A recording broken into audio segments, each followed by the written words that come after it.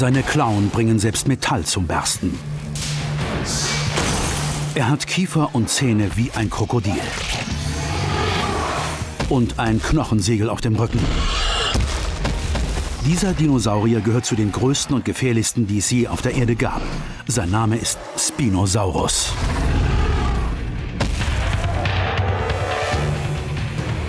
Nach Millionen von Jahren erwacht er erneut zum Leben. Einer der Giganten der Urzeit.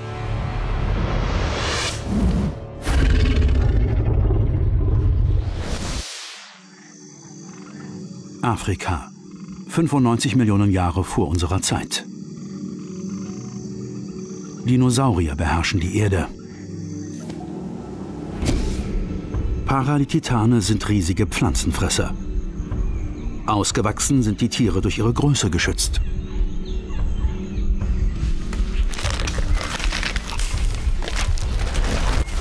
Das gilt jedoch nicht für den Nachwuchs.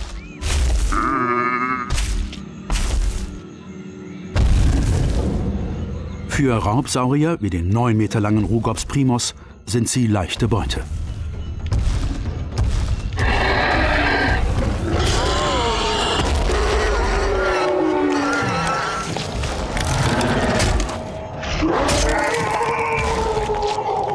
Schnelligkeit ist eine seiner größten Stärken. Doch diesmal trägt ein anderer den Sieg davon. Unter den Urzeitgiganten gibt es immer einen, der noch größer ist. Sein Name ist Spinosaurus.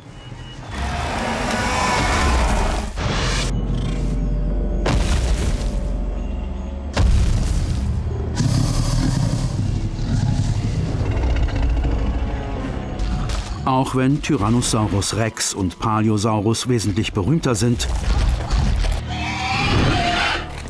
Spinosaurus kann es durchaus mit ihnen aufnehmen. Spinosaurus ist wirklich beeindruckend.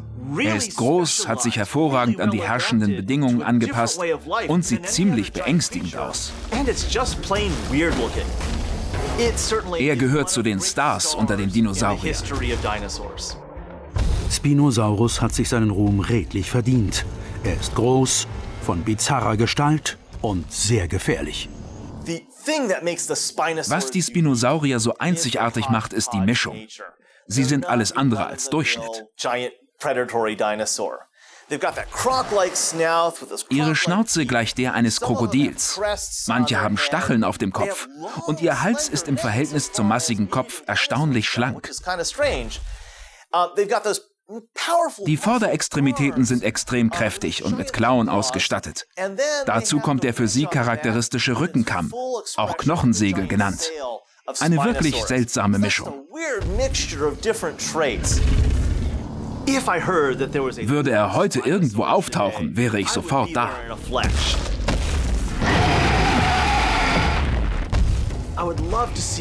Ich würde ihn zu gern mal in Aktion sehen, selbst wenn er einfach nur dasteht.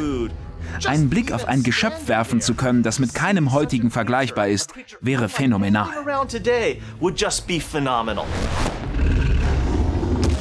Wieder auferstanden wäre Spinosaurus ein wandelnder Albtraum.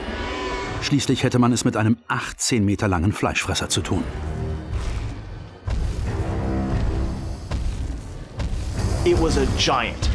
Er war riesig, der größte fleischfressende Dinosaurier, den es je gab.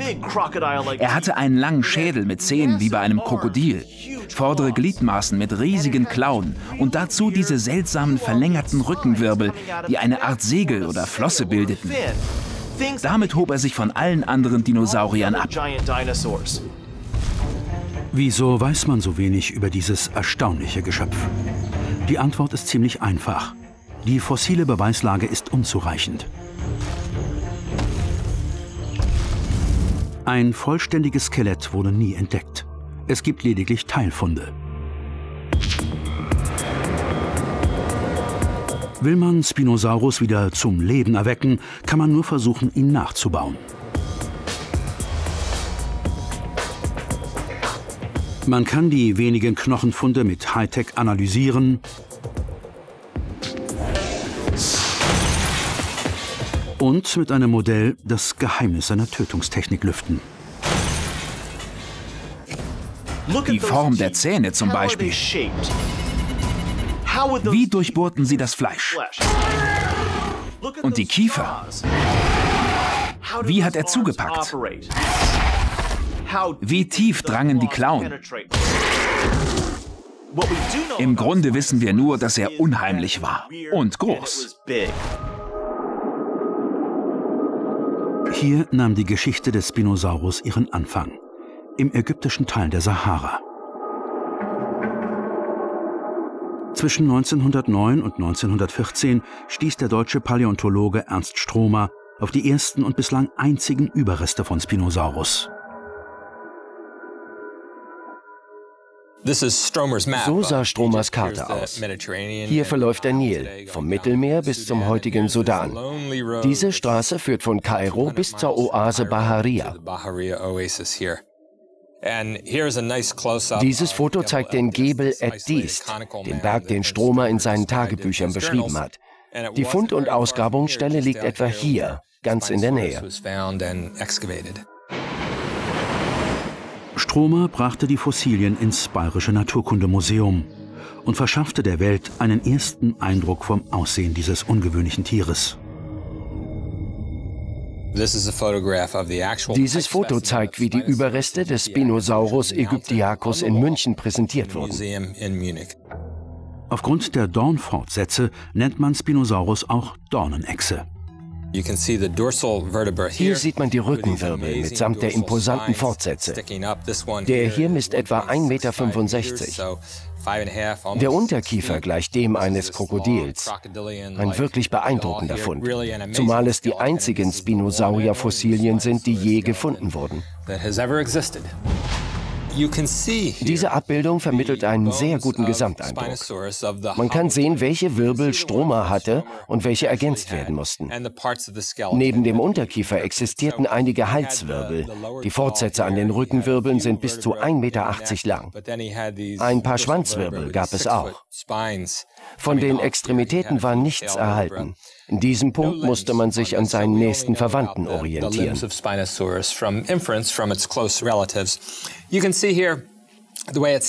An der aufrechten Körperhaltung erkennt man, dass es sich um eine ältere Rekonstruktion handelt. So hat man Dinosaurier während der Stummfilmzeit porträtiert. Heute würde man die Hüfte parallel zum Boden verlaufen lassen. Körper, Schwanz und Hals wären eher in der Waagrechten. Leider blieben die Überreste nicht lange erhalten. Das leidvolle 20. Jahrhundert kollidierte mit der Urzeit. Während des Zweiten Weltkriegs bombardierten die Alliierten neben Industrieanlagen auch andere kriegswichtige Ziele. Leider lag das Museum nicht weit weg von der Zentrale der NSDAP. Am 27. April 1944 bombardierten die Alliierten München und zerstörten dabei auch das Museum. 95 Millionen Jahre hatten Spinosaurus-Überreste überstanden. Dann wurden sie durch den Krieg zerstört.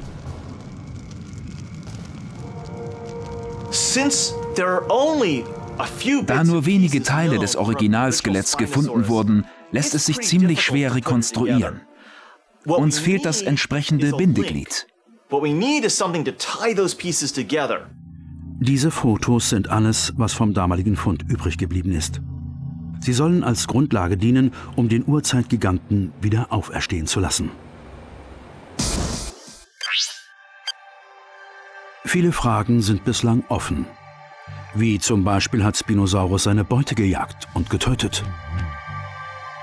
Warum unterscheidet sich sein Gebiss so sehr von dem anderer Raubsaurier? Besonders untypisch ist die lange krokodilähnliche Schnauze mit den kegelförmigen Zähnen. Völlig anders als bei einem T-Rex. Warum waren seine Vorderextremitäten derart ausgeprägt?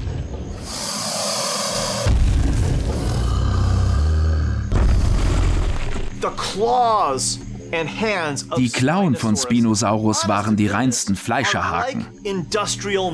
Im Schlachthof oder beim Metzger würde man heute am ehesten das passende Pendant finden. Und was hatte es mit den merkwürdigen Dornfortsätzen auf sich? Die langen Wirbelfortsätze bilden ein flossenartiges Segel auf dem Rücken. Es ist vergleichsweise schmal. Wozu dient es?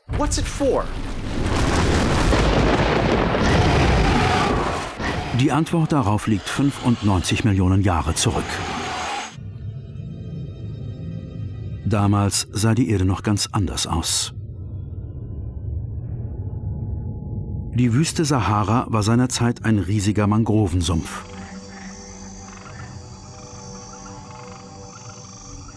Das heiße Klima ließ unzählige Pflanzen und Tierarten gedeihen. Spinosaurus lived Spinosaurier lebten vor etwa 95 Millionen Jahren. Das Klima war wesentlich heißer als heute und der Meeresspiegel lag 90 Meter über dem jetzigen. Große Teile der Kontinente waren von Wasser bedeckt. Das damalige Binnenmeer bedeckte Teile des heutigen Ägyptens. Im Küstenbereich wuchsen baumartige Salzpflanzen. Solche Mangrovenwälder bilden sich ausschließlich im Gezeitenbereich. Dort war der Spinosaurier zu Hause. Der Lebensraum hatte viel zu bieten, barg aber auch Probleme, da es nicht viel Trinkwasser gab. Beute gab es in Hülle und Fülle, aber auch jede Menge Konkurrenz.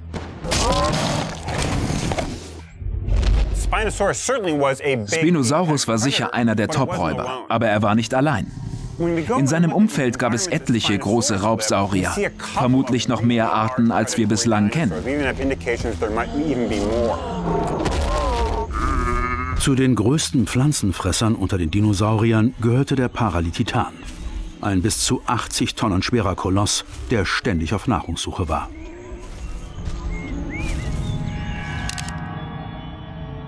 Ken Lacovera und Matt Lemana waren dabei, als im Jahr 2000 das Teilskelett eines Paralititans in Ägypten gefunden wurde. Der Vorderbeinknochen, den sie fanden, maß über zwei Meter. In dieser Gewichtsklasse dreht sich alles ums Fressen. Sie dürften den ganzen Tag lang nichts anderes getan haben.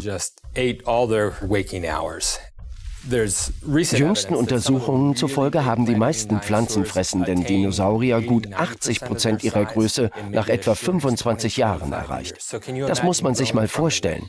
Ein Tier, das aus einem volleyballgroßen Ei stammt, entwickelt sich in 25 Jahren zu einem 60 Tonnen schweren Koloss. Erstaunlich.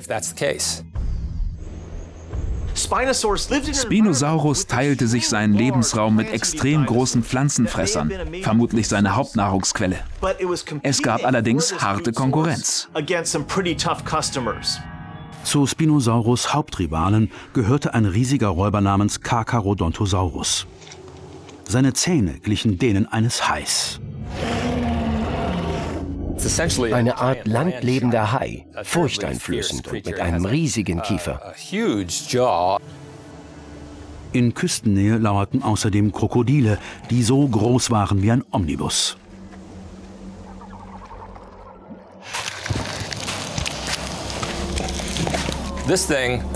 Sie dürften alles gejagt haben, uh, sogar Dinosaurier.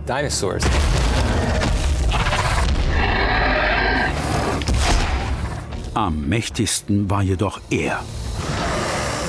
Spinosaurus. Was machte ihn so überlegen?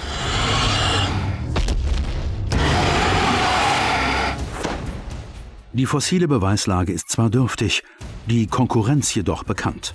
Von den Kiefern ist genug erhalten, um einen Nachbau zu wagen. Auch die Klauen nehmen bereits Form an.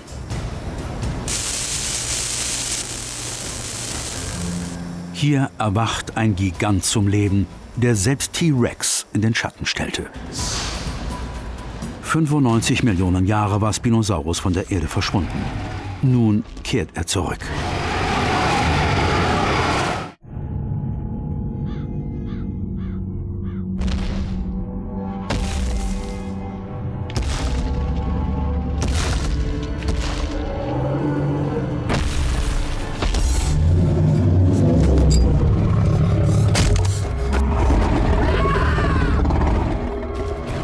Menschen hatten Glück.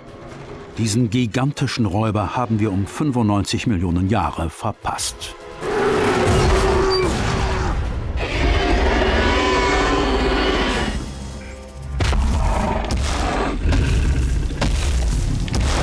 Spinosaurus war unter den fleischfressenden Dinosauriern der größte. Trotzdem ist er weitgehend in Vergessenheit geraten.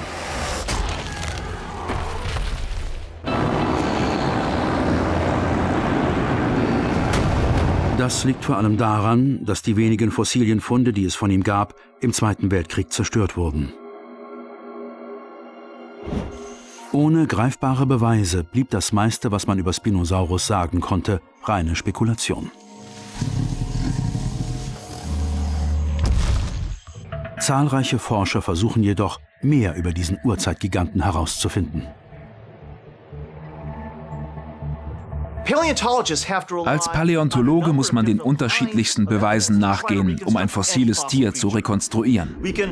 Man kann sich zum Beispiel seine nächsten Verwandten, also Vögel und Krokodile, ansehen und entsprechende Rückschlüsse ziehen. So lassen sich selbst ausgestorbene Tiere wieder zum Leben erwecken.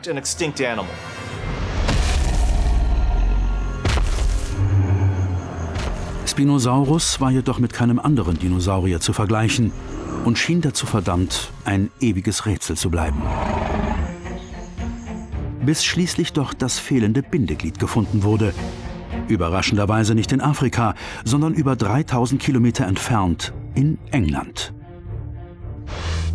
1983 entdeckte der Hobbypaläontologe William Walker in der Nähe von Dorking die riesige Kralle eines Raubsauriers namens Baryonyx.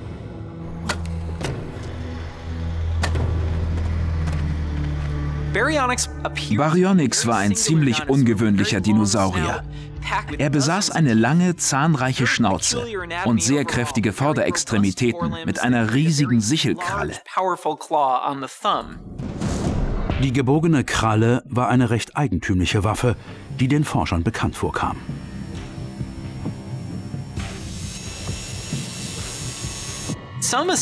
Es gab verblüffende Parallelen zwischen der englischen Neuentdeckung und Spinosaurus. Die Paläontologen stellten fest, dass Baryonyx und Spinosaurus nahe Verwandte waren.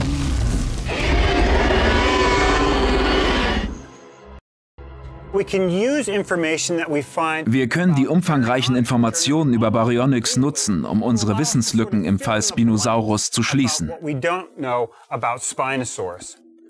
Baryonyx ist eine Art Miniaturausgabe von Spinosaurus, nur ohne Segel.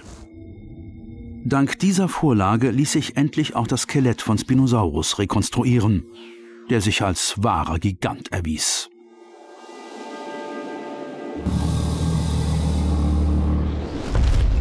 18 Meter lang, 2 Meter lange Vorderextremitäten, knapp 40 Zentimeter lange Krallen und ein geschätztes Höchstgewicht von 9 Tonnen.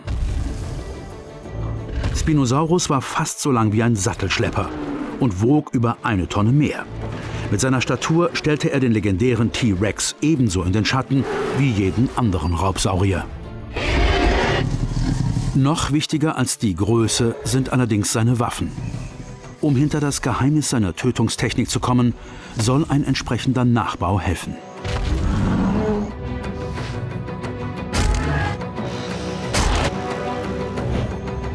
Besonders aufschlussreich ist für Paläontologen in diesem Zusammenhang das Gebiss.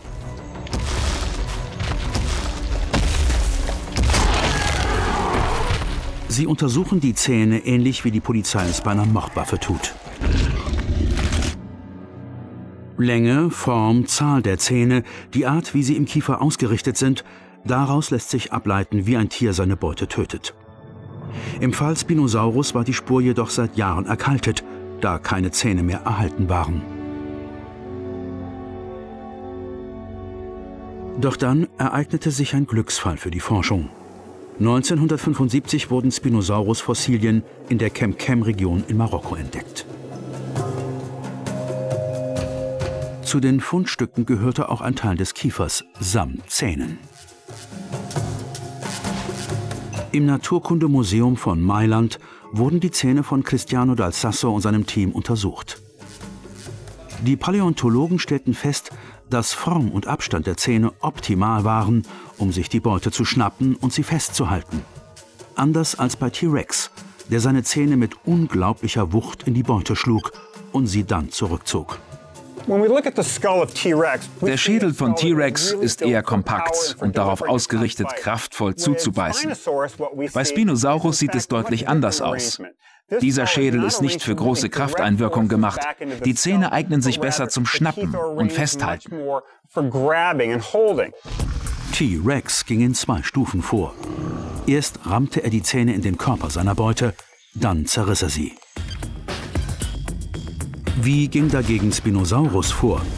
Verfügte er neben den Zähnen über eine Geheimwaffe? Waren es vielleicht seine Klauen?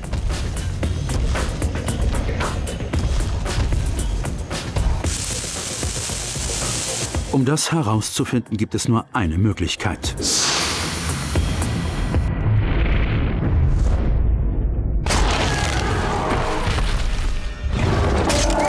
Um den größten fleischfressenden Dinosaurier der Erde wieder auferstehen zu lassen, müssen die Forscher neue Wege beschreiten.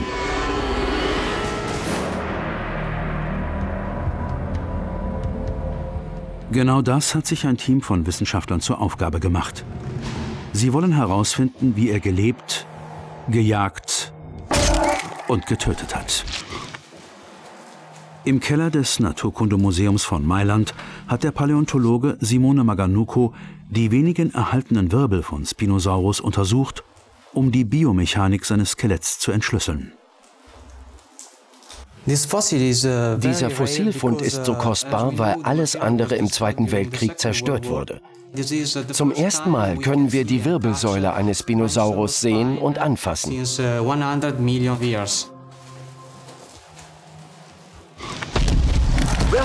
Einen Dinosaurier wieder auferstehen zu lassen, ist ohnehin schon schwer. Erst recht, wenn man ohne die ursprünglichen Knochen auskommen muss.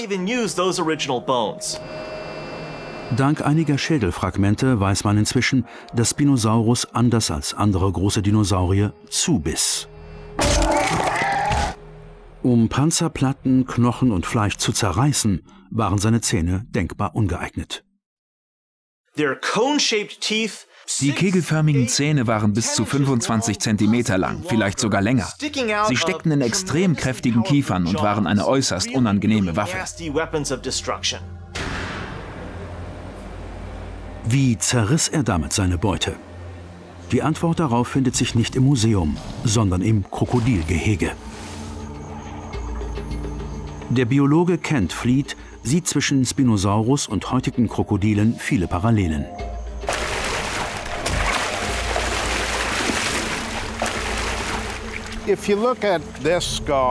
Wenn man diesen Schädel mit dem von Spinosaurus vergleicht, sieht man, dass beide einen ziemlich flachen Schädel mit einer langen, schlanken Schnauze haben. Dazu kommen die kegelförmigen Zähne. Krokodile haben die stärkste Beißkraft, die je bei Tieren gemessen wurde.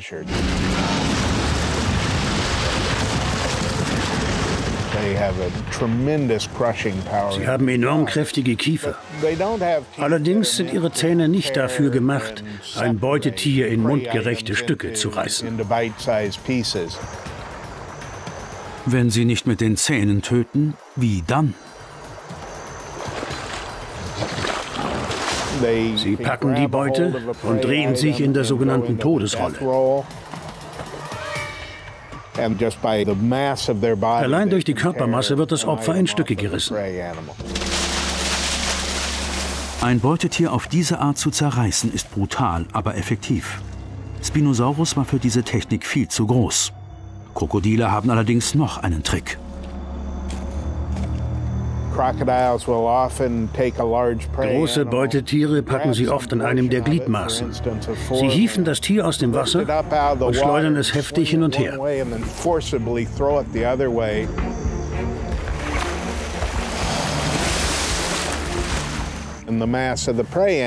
Die Massenträgheit des Beutetiers lässt das Bein abreißen. Das wird je nach Bedarf wiederholt. Krokodile zerschleudern ihre Beute also. Spinosaurus dürfte es ähnlich gemacht haben. Sobald Spinosaurus sein Opfer zu fassen bekam, haben es die kegelförmigen Zähne durchbohrt. Vermutlich hat er es hin und her geschleudert und dadurch in Stücke gerissen. Außerdem dürfte dabei der Hals des Opfers gebrochen sein. Wenn er es gepackt hatte, war es mit dem Opfer ziemlich schnell zu Ende.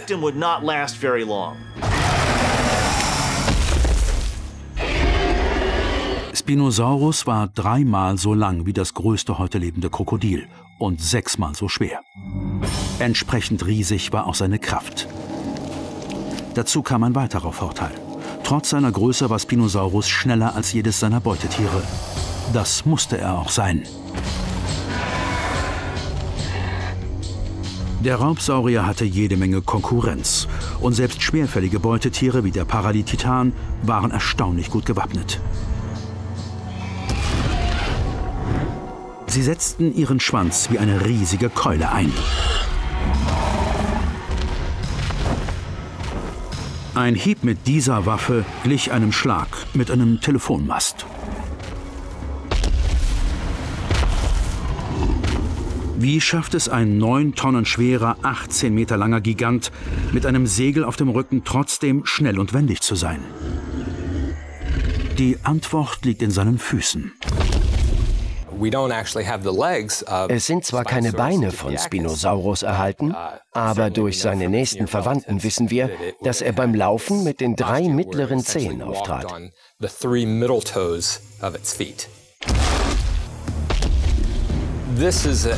Durch diese Anpassung konnte er sich schneller fortbewegen. Bei den Füßen eines fleischfressenden Dinosauriers ging es vor allem ums Vorankommen. Wenn der neun Tonnen schwere Koloss auf Beutezug war, mussten seine Hüften und Beinknochen enormen Belastungen standhalten.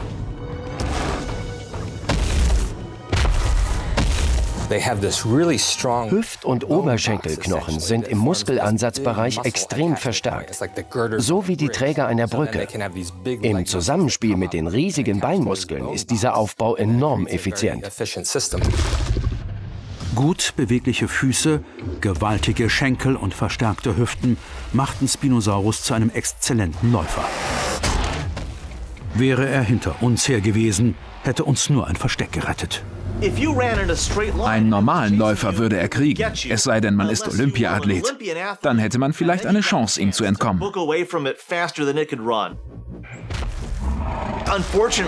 Leider haben wir genau die richtige Größe, um von ihm geschnappt zu werden.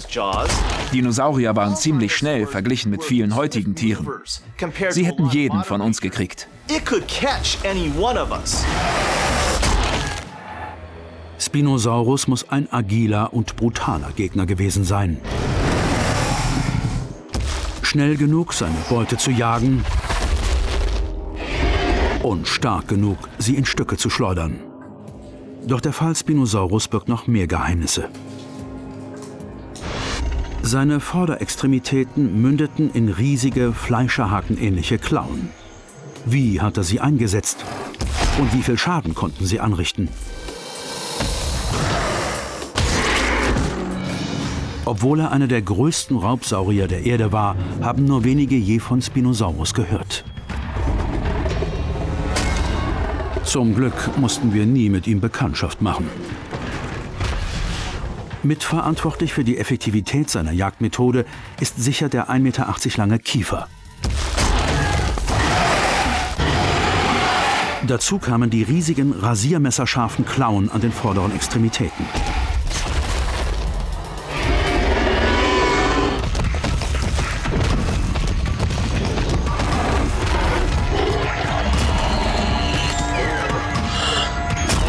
Die meisten fleischfressenden Dinosaurier hatten nur sehr kurze Vordergliedmaßen. Verglichen damit wirkte Spinosaurus wie ein Bodybuilder. Die großen Landraubtiere von heute, ob Eisbär, Grizzly oder sibirischer Tiger, besitzen Klauen, mit denen sie einem Menschen ziemlich schnell den Garaus machen können.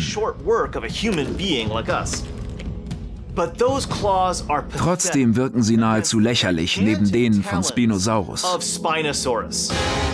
Sind sie der Grund dafür, dass es der Saurier zum Topräuber gebracht hat?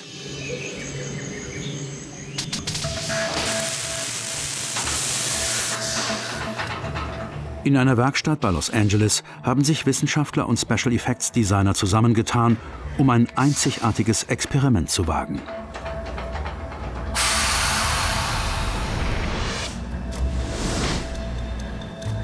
Der Paläontologe Dr. Matt Lamana und das Special Effects Team von Ken Hicks erwecken Spinosaurus wieder zum Leben.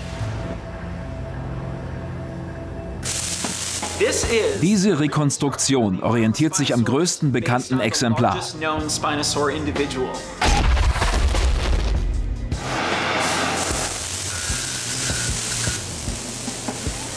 Hier entsteht die lebensgroße stählerne Kopie eines Spinosaurus-Unterarms samt Klaue.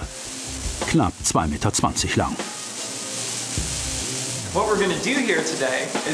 Wir werden mit dem Nachbau einige Gegenstände zerschmettern, um herauszufinden, welchen Schaden das Original damals wohl bei potenziellen Beutetieren angerichtet hat. Ausgehend von Spinosaurus kleinerem Verwandten Baryonyx konnte Lamana das Team mit einer detaillierten Vorlage für das Stahlmodell versorgen.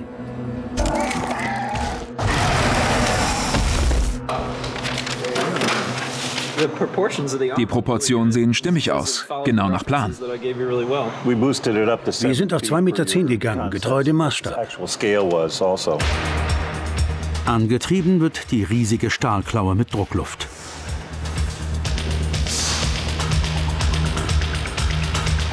Die Gesamtkonstruktion wird mit 17 massiven Schraubbolzen im Betonboden verankert.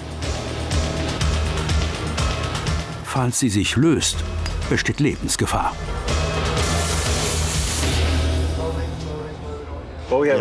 Der Radius beträgt 2,10 Meter. Die Spitze wird sich deutlich schneller bewegen als der Arm am Ansatz. Die tatsächliche Kraft des Sauriers lässt sich nur schwer abschätzen. Die Größe des Modells dürfte jedoch zutreffen.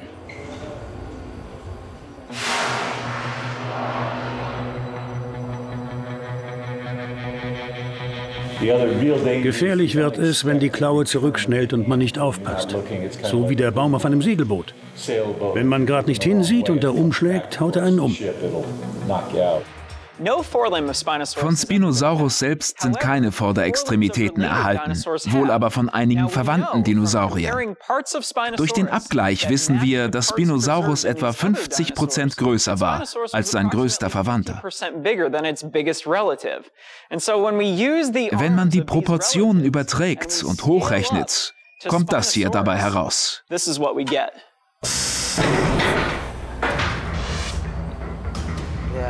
Die ersten Opfer sind zwei große Blöcke aus ballistischer Gelatine.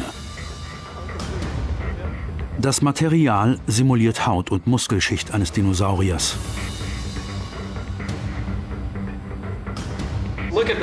Hier sieht man, was für große Wunden die Kralle dem simulierten Körper zufügt.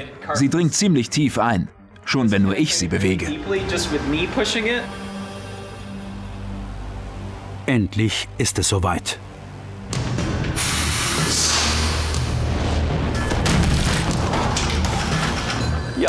Das war's dann. Mit Schleimspur.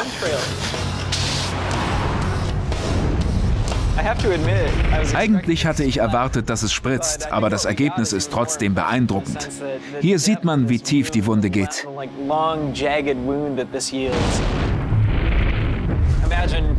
Ein Treffer damit dürfte eine üble Verletzung hinterlassen haben.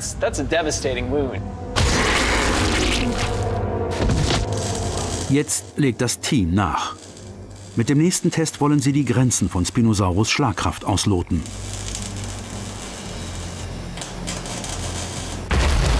Fleisch mag für seine Klauen ein leichtes gewesen sein. Aber galt das auch für die Panzerhaut prähistorischer Beutetiere?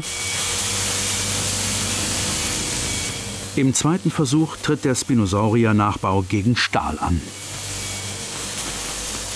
Zeit für die Autotür.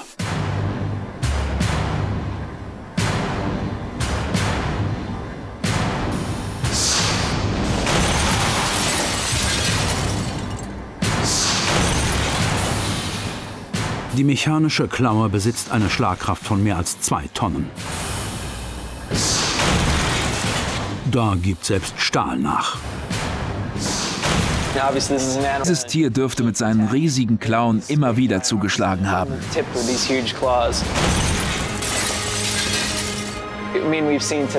Nachdem wir gesehen haben, welchen Schaden schon das Modell anrichten kann, mag man sich kaum vorstellen, was die echte Kreatur drauf hatte.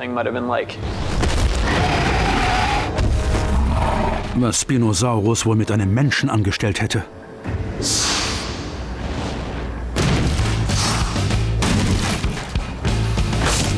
Kein Tier wollte damit Bekanntschaft machen. Eine Frage ist aber immer noch ungeklärt. Wozu diente das riesige Segel auf Spinosaurus Rücken? Auch darauf ist bei diesem Urzeitmonstrum die Antwort überraschend. Er sieht zwar aus, als käme er aus einem japanischen Monsterfilm, doch Spinosaurus ist kein Fantasiegeschöpf. Diese Ausgabe von Godzilla hat tatsächlich einmal die Erde beherrscht. Auch wenn die fossile Beweislage in seinem Fall leider sehr dürftig ist. Die Zerstörung des Originalskeletts war ein großer Verlust für die Wissenschaft. Jahrzehntelang ist Spinosaurus in Vergessenheit geraten, weil wir seine Knochen nicht untersuchen konnten. Trotz der wenigen erhaltenen Fundstücke konnte Spinosaurus mittlerweile ziemlich gut rekonstruiert werden.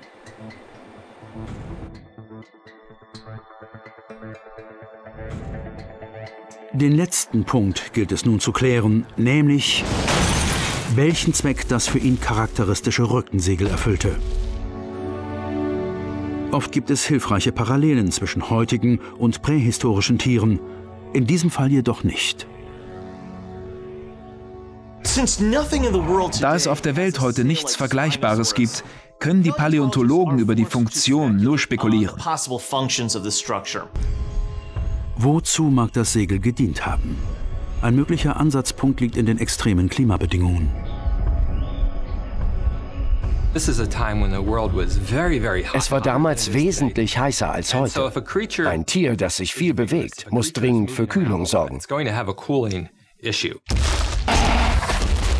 Ein prähistorischer Räuber wie Spinosaurus war ständig in Bewegung. In der Tierwelt gibt es verschiedene Kühlungsmethoden. Elefanten zum Beispiel fächeln mit den Ohren, um Wärme abzugeben. Spinosaurus Knochensegel könnte eine ähnliche Funktion gehabt haben. Das Segel hat eine große Oberfläche und kann darüber Wärme abgeben. Heißes Blut, das durch die Haut über dem Knochensegel fließt, wird auf diese Weise heruntergekühlt.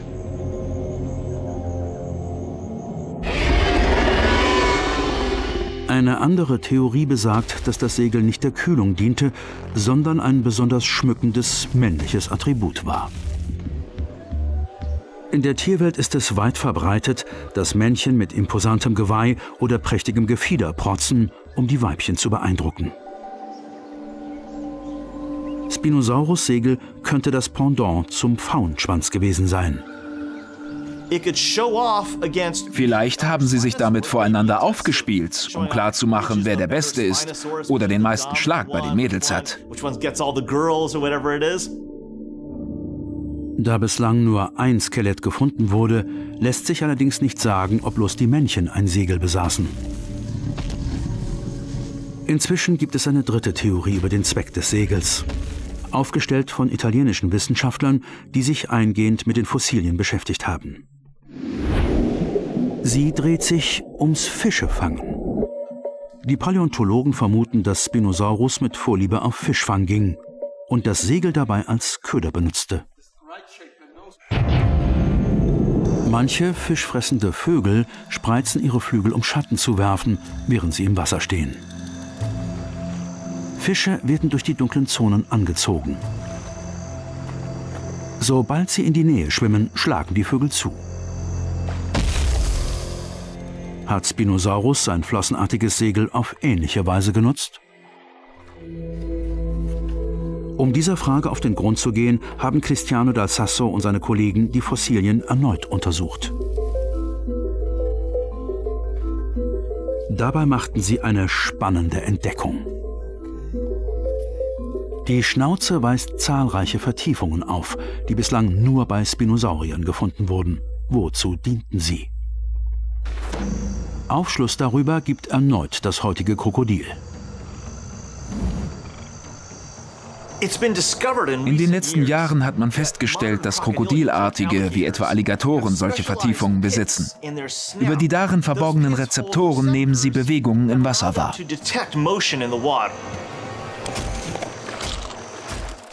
Also Dieselben Vertiefungen finden sich auch bei Spinosaurus. Es liegt also nahe, dass er mit einem ähnlichen Sinn ausgestattet war. Wie lässt sich feststellen, ob Spinosaurus über einen sechsten Sinn verfügte? Wie schaut man in einen 95 Millionen Jahre alten Schädel? Die italienischen Wissenschaftler ließen eine CT-Aufnahme vom Kopf des Sauriers machen.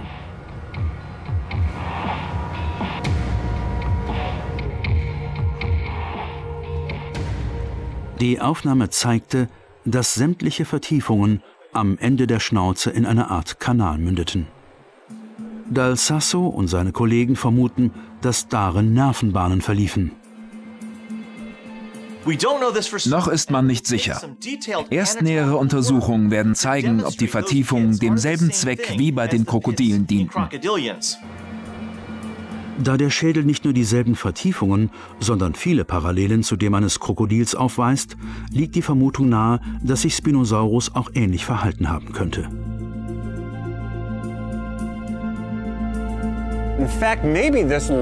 Vielleicht war der lange, flache Schädel aus denselben Gründen so geformt wie beim Krokodil.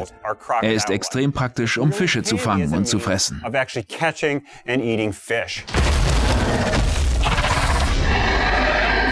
Mit seinen extrem scharfen Krallen war es für Spinosaurus ein leichtes, sein Opfer aufzuschlitzen.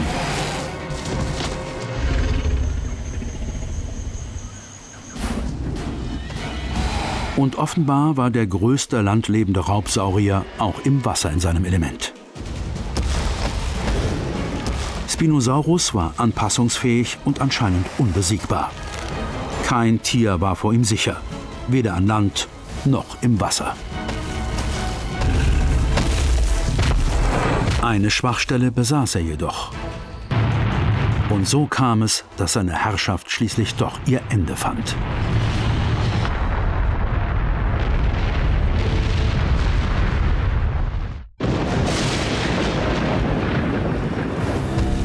Noch war dieser Tag aber nicht gekommen. Spinosaurus war nach wie vor unbestrittener Herrscher unter den Dinosauriern. Kein anderer war so groß wie er. Selbst ein so riesiges Geschöpf wie der Carcharodontosaurus war keine Bedrohung für ihn.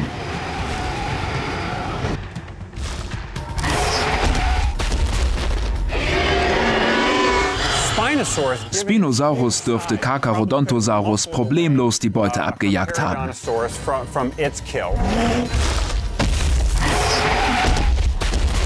Für einen Raubsaurier war Spinosaurus perfekt ausgestattet. Kiefer, Klauen, Zähne und seine Schnelligkeit machten ihn zum Top-Räuber der Kreidezeit. Trotzdem verschwindet er vor etwa 95 Millionen Jahren urplötzlich von der Erde. Warum? Spinosaurus war der letzte seiner Art und bis dahin sehr erfolgreich. Doch die Welt um ihn herum veränderte sich und er passte sich nicht an.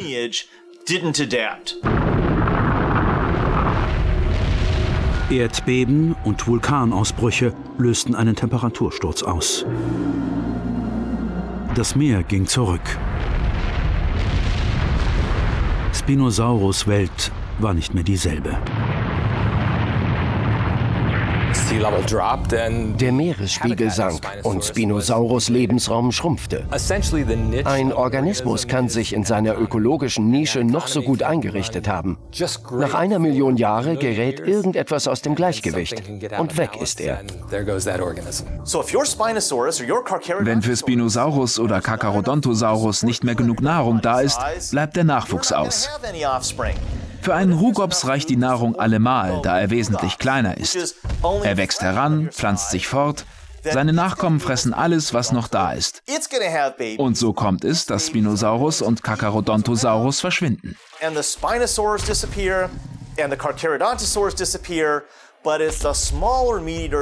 Die kleineren Fleischfresser haben die Durststrecke ziemlich gut überstanden, bis zu dem Zeitpunkt, als der Asteroid einschlug. Danach war das Schicksal der großen Fleischfresser besiegelt. Es gab einfach nicht genug Nahrung für sie. Als erste starben die großen Pflanzenfresser aus, wie Paralititan. Entsprechend schwierig wurde es für Spinosaurus Beute zu finden. Dabei braucht ein so großes Tier ständig Nachschub. Seine einst so vorteilhafte Größe wird zu einem riesigen Problem.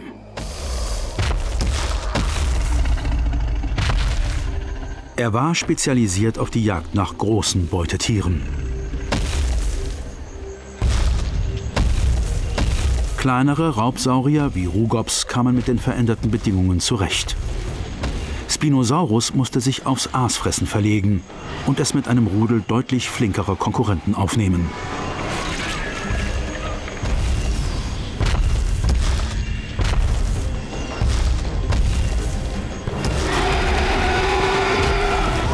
Der einst unbesiegbare Gigant kämpfte um sein Überleben. Und er hatte eine wesentliche Schwachstelle. Die Dornfortsätze waren mit der Wirbelsäule verschmolzen. Wenn er umkippte, war er dem Tod geweiht.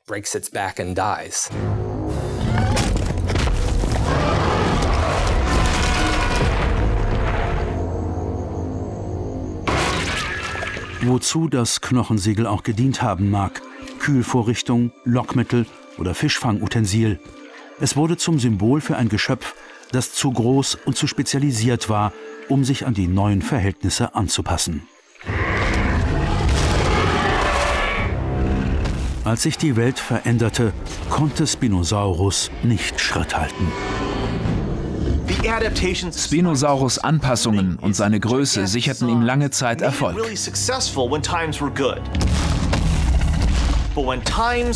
Als sich die Zeiten und seine Umgebung änderten, verkehrte sich das Ganze ins Gegenteil. Seine Größe und sein spezieller Körperbau waren nicht mehr adäquat. Er war zu groß, um zu überleben.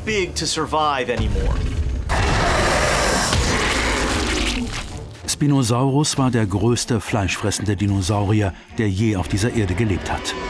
Ein Urzeitgigant, der aussah wie aus einem Horrorfilm. Ausgestattet mit einer enormen Schlagkraft.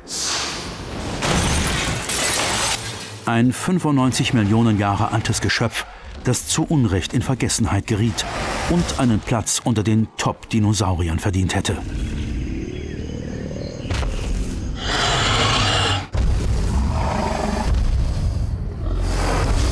welche Urzeitgiganten wohl noch darauf warten, von uns wiederentdeckt zu werden.